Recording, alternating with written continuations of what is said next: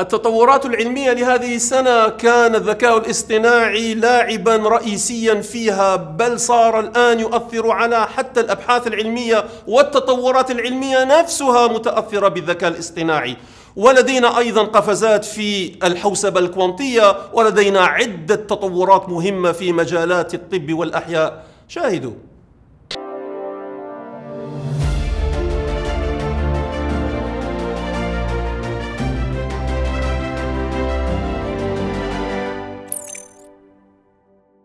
السلام عليكم.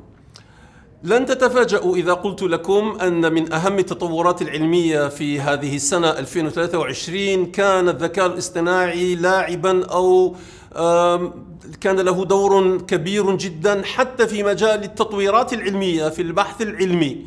وكذلك سأقول في الأخير كان للحوسبة الكوانتية الحواسيب الكوانتية قفزات مهمة جدا. الذكاء الاصطناعي لا شك أنكم تابعتم تعرفون طبعا كلكم تشات جي بي تي تشات جي بي تي الذي صدر في 30 نوفمبر 2022 تعتبر الآن آه، تاريخ يعني أو آه، آه، يوم تاريخي حقيقة.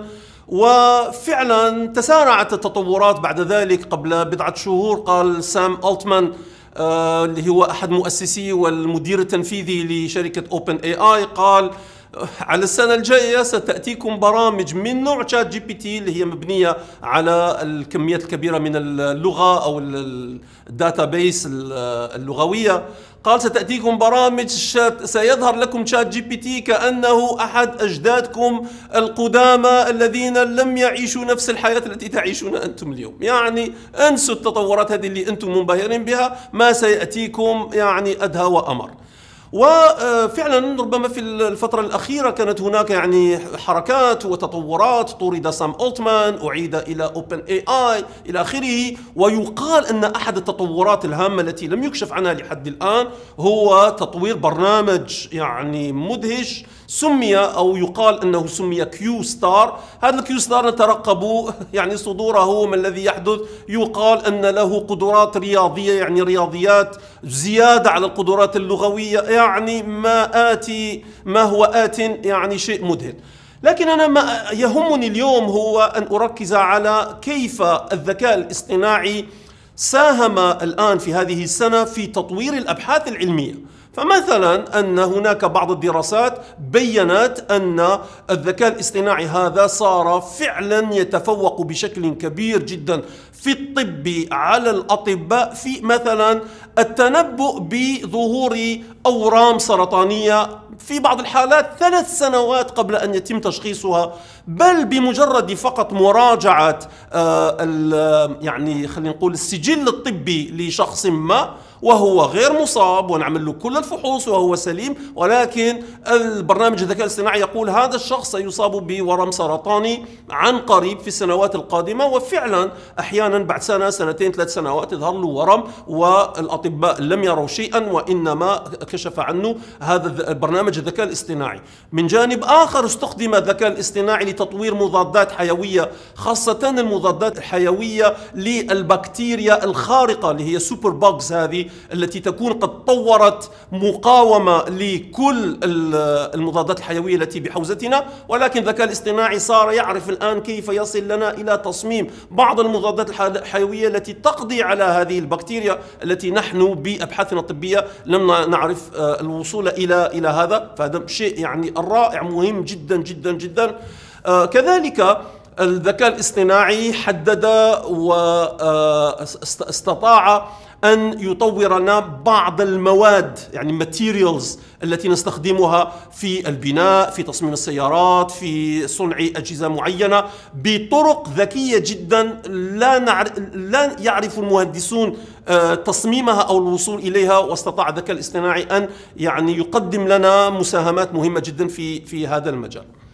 موضوع آخر الآن نأتي إلى الأجنة البشرية التي تم في بعض في بعض الأبحاث من جامعة كامبريدج ومعهد كاليفورنيا للتكنولوجيا الكالتيك إلى آخره يعني أرقى الجامعات وأكثرها تقدما. استطاع الباحثون فيها أن يطوروا أجنة بشرية انطلاقا ليس من الحيوان المنوي والبويضة وإنما من خلايا جذعية. يعني نأتي من خلايا جذعية ومنها مباشرة نطور أجنة. وهذا يعني خرق هذه قفزة جديدة أننا لا نحتاج أن ننطلق من الخلايا الأساسية الأولى من الذكر والأنثى ونلقحها مع بعض إلى آخره. لا نأتي من الخلايا الجذعية ونطورها. الخلايا الجذعية لماذا هي مهمة؟ لأن الخلايا الجذعية هذه تستطيع أن تعطيني كل أنواع الخلايا مبدئيا وأن تتطور إلى خلايا جلدية خلايا أعضاء آه، قلب وكلى وغيرها. ويمكن لنا أن تتطور بهذه الطريقة الطريقة لكن هذا طبعا يثير آه، مسائل آه، أخلاقية بلا شك. يعني هذه الخلايا خلايا من؟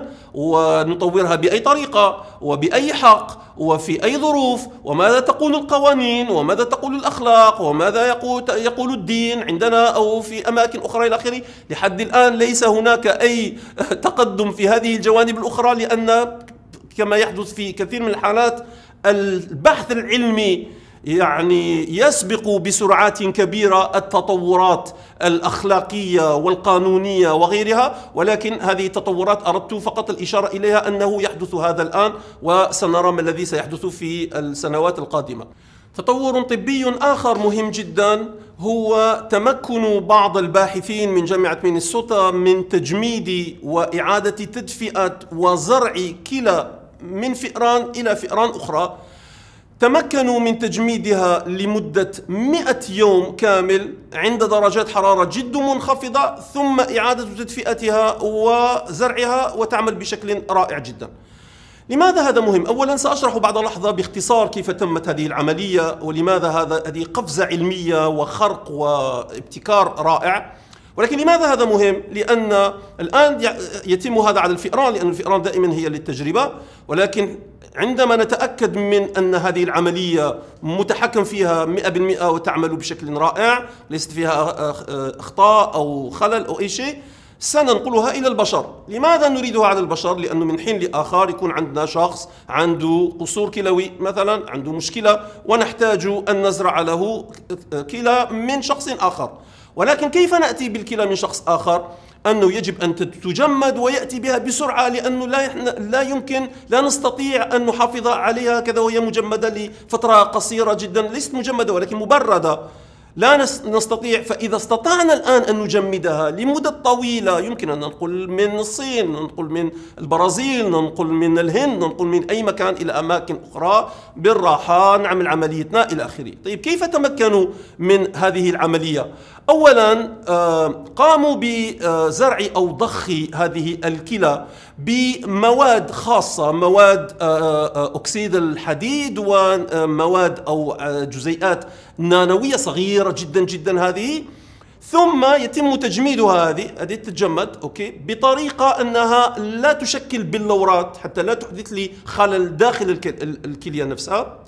ثم بعد ذلك كيف ندفئها ندفئها من الداخل؟ ليس من الخارج حتى أن الكلية هذه لا تتأثر من الخارج وإنما من الداخل حيث وضعنا هذه المواد. هذه نجعلها تتدفأ ببطء وبطريقة داخلية عن طريق مجال مغناطيسي متناوب. هكذا يتغير هذا المجال المغناطيسي فيجعل هذه الجزيئات النانوية هذه أنها تكتسب طاقة وتنقلها على شكل حرارة وهذه الحرارة هكذا تنتقل تدريجيا.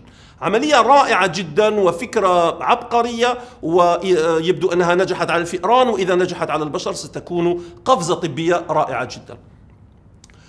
تطور طبي ثالث آخر هذه السنة مهم جدا هو مسألة الخلايا وكيف ما الذي يحدث للخلايا عند تقدم العمر وهل هذه الخلايا هذه يعني ما ما هو ما هي الشيخوخة؟ الشيخوخة هو عندما الخلايا والأعضاء يعني تبدأ تفقد قدراتها الأصلية في القيام على على القيام بعمليات حيوية معينة. فلماذا تفقد قدراتها هذه؟ قال الباحثون أن هناك بعض العمليات التي نلاحظها على الحمض النووي ونلاحظها على الخلية. هذه العمليات إذا عرفنا نتحكم فيها بحيث أنها أننا لا نسمح بالقيام بها فهذه الخلايا وهذه الأعضاء يمكن أن تستمر لمدة طويلة. وفعلا آه، كان قبل حوالي عشر سنوات كان أحد العلماء اليابانيين يدعى شينيا ياماناكا. حصل على جائزة نوبل أو على الأقل نصف جائزة نوبل مع مع شخص آخر في الطب لأنه اكتشف كيف نأتي إلى الخلايا الجذعية التي أشرت إليها آنفا. هذه الخلايا الجذعية التي يمكن لها أن تتطور إلى أنواع متعددة من الخلايا. ثم بين لنا أن لم يبين لنا هو بين أنه نستطيع القيام بهذا ولكن جاء باحثون بعد ذلك خلال السنوات القليلة الماضية وبينوا ما الذي يحدث لهذه الخلايا عندما تتطور بهذه الطريقة.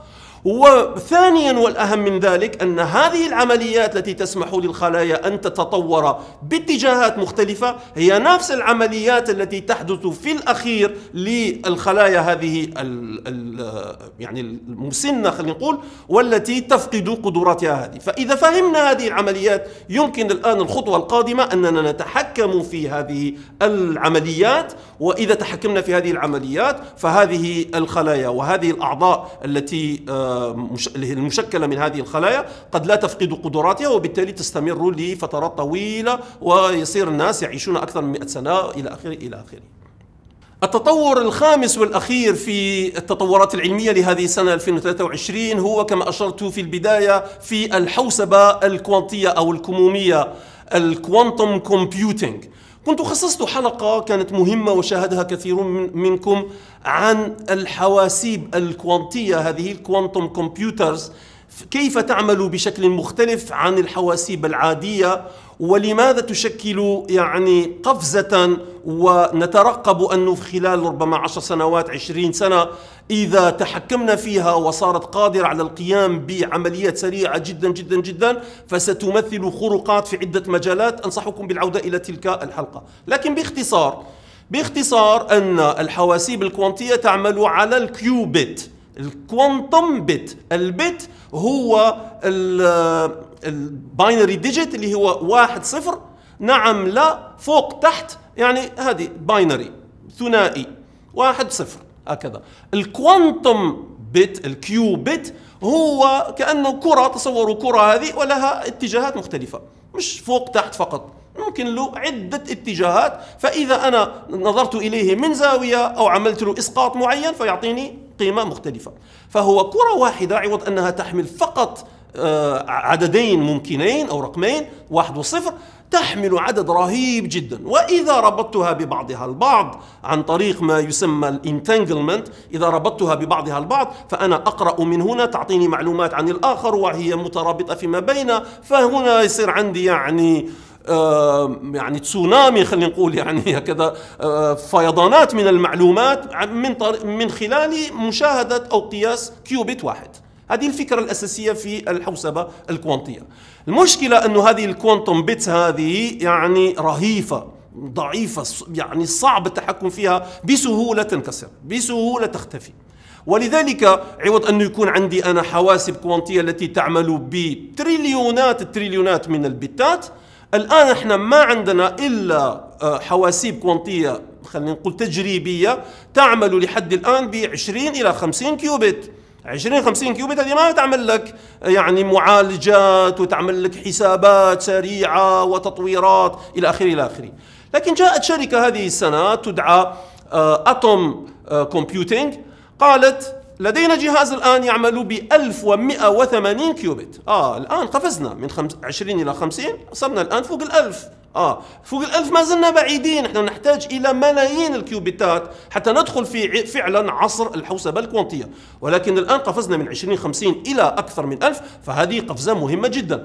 بل قال آه، المدير التنفيذي لشركة Atom Computing قبل بضعة شهور قال أنا أتوقع أنه في خلال سنوات سنصل إلى 100 ألف qubit سواء في شركته هو أو في شركات منافسة أخرى. كل الشركات الكبرى تعمل الآن IBM جوجل إلى آخره كلها. بل بعضها طرح على الساحة وضع حتى على السحابة وضع بعض الأجهزة. التجريبيه قالوا يا جماعة عندنا. quantum computer استخدموا يلا اكتبوا لنا برامج ويلا اعملوا على على هذا. فهي موجودة الآن ولكن موجودة بشكل صغير جدا. لا تقوم بالثورات التي نتصور من حيث التشفير والذكاء الاصطناعي والأبحاث الطبية والبحث عن الأدوية ولها تطبيقات لا حصر لها كما شرحت في حلقة خصصتها لهذا الموضوع. تطورات مهمة جدا كما ترون في الجوانب التكنولوجية سواء الذكاء الاصطناعي أو الحوسبة الكوانتية أو في مجالات الطب والأحياء. شكرا لكم على المتابعة. السلام عليكم.